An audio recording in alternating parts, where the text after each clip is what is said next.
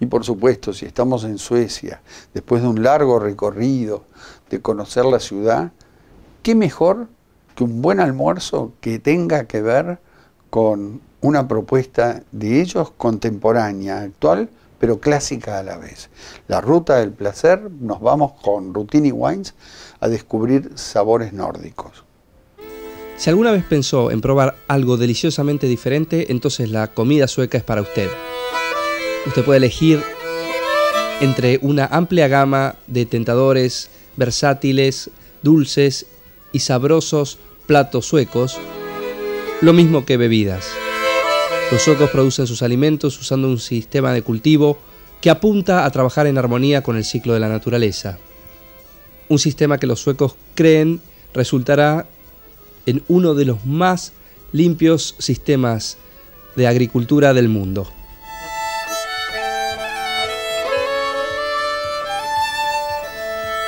Y si uno está acá en Suecia no puede dejar de probar el smorgasbord.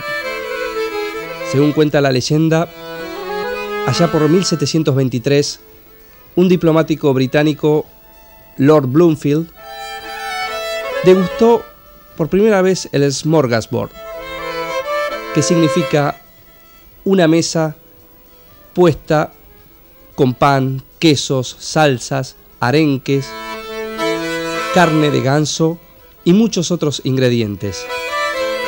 Claro que él probó el smorgasbord como aperitivo antes de un banquete. Pero hoy, hoy en día el smorgasbord, con sus muchos platos y variedades, es una comida satisfecha por sí sola. Smorgasbord es el típico almuerzo sueco, que en general se disfruta los sábados y domingos cuando la familia está reunida. Nosotros lo servimos dos veces al día, a las 12.30 y a las 16 pero se podría decir que el smorgasbord es el típico almuerzo sueco.